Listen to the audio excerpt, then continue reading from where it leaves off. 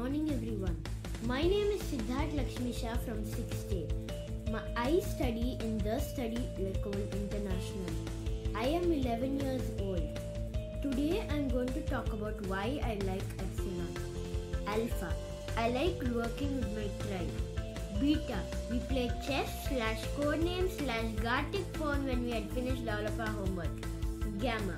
I learned a lot of information that I did ha- didn't learn before. Delta. I love Epsilon. Epsilon. I wish it would never end. Zeta. Thank you to all the mentors, teachers, TAs, and all of my peers. Loved it.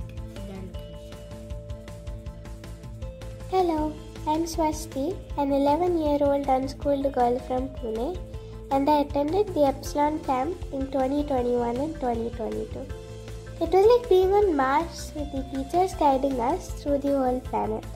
The homework was like the lava, burning but still fun for Martians, not Earthlings. Thank you so much to everyone who made the planet Mars. I had a lot of fun.